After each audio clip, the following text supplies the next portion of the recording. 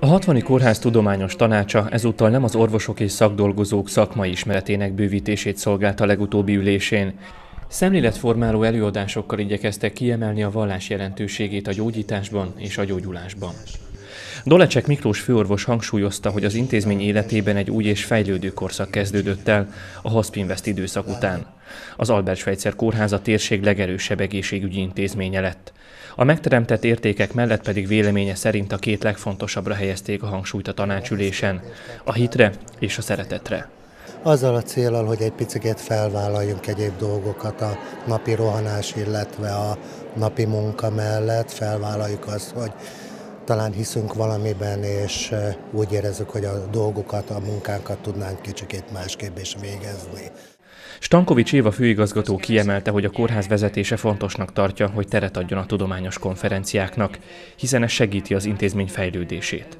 Az, hogy ezeket a konferenciákat megtarthatjuk, megszervezhetjük, azért egy sok éves, több éves munka előzte meg, mert túl vagyunk egy kicsit azt mondom azon az állapoton, hogy mi is lelkileg, erkölcsileg és akár fizikailag is összeszedtük magunkat, és most már lehetőség nyílik arra, hogy ezeket a, a konferenciákat megszervezzük, hogy egy kicsit a szakmai, tudományos élettel is foglalkozzunk, és minden mellett azt gondolom, hogy a lélekápolás, a lelkek ápolása, akár a betegeké, akár az orvos vagy szakdolgozó kollégáké nagyon fontos.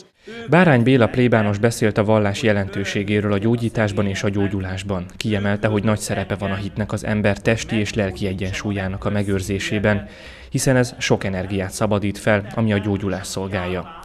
Rámutatott, hogy az Egyesült Államokban az emberek több mint 80%-a hisz az ima gyógyító erejében.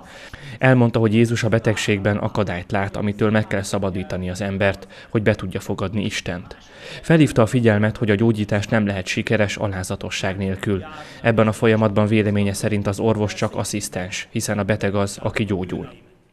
De Jézus tudta, hogy a lélek gyógyítása fontosabb, a hit szerepe prioritást élvez, el, előbbre való, mint a testnek, a pusztán a szerveknek a meggyógyítása, hiszen a lelki állapot helyrehozása nagy mértékben elősegíti mind a gyógyulást, mind a regenerálódást.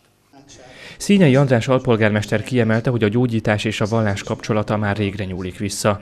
A szocialista és marxista elveket valló időszakokban azonban háttérbe szorult a hit. Horváth Rihárd alpolgármester az Albert Schweitzer kórház látványos fejlődését méltatta a rendezvényen. Brazda Judita Váci Egyházmegye kórház lelkészi szolgálatának 60 kórházban végzett munkájáról számolt be.